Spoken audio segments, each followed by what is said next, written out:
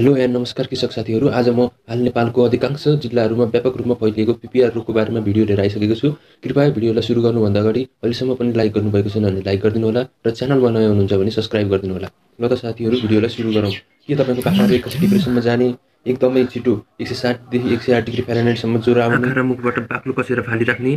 मुखमा घाउ आउने यसो हेर्दाखेरि मुखभित्रको घाउमा गाउँको चोक्कर डले जस्तो देखिने। नाक र मुखबाट एकदमै धेरै बाक्लो डिस्चार्ज हुँदाखेरि सास फेर्नलाई एकदमै कठिनाइ हुने खोक्ने र सास फेर्दाखेरि एकदमै सिट्ठी बजाएको जस्तो आवाज आउने एकदम दुर्गन्धयुक्त डाइरिया गर्ने र ठुलो सङ्ख्यामा मृत्यु हुने समस्या देखिएको छ। यदि देखिएको छ भने यो भिडियोलाई अन्तिमसम्म स्किप नगरिकन हेर्नुहोला ताकि यस्तो समस्या आइपरे के गर्ने भन्ने बारेमा डिटेलमा छलफल गर्नेछौँ। यदि यस्तो समस्या देखिहाल्यो भने सर्वप्रथम त भेडा बाख्रालाई समूहबाट अलग गरेर राख्ने।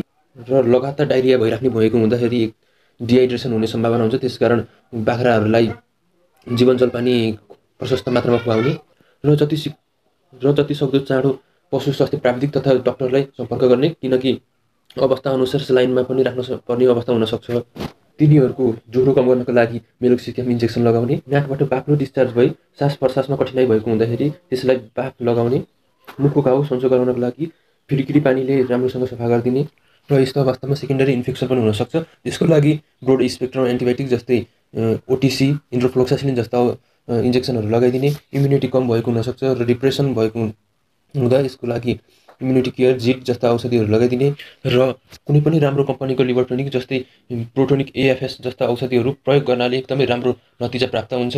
हस्त साथीहरू आजको यो भिडियो हजुरहरूलाई एकदमै प्रभावकारी भयो भन्ने आशा गर्दछु।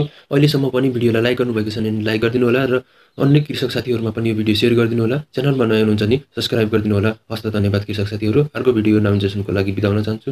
धन्यवाद।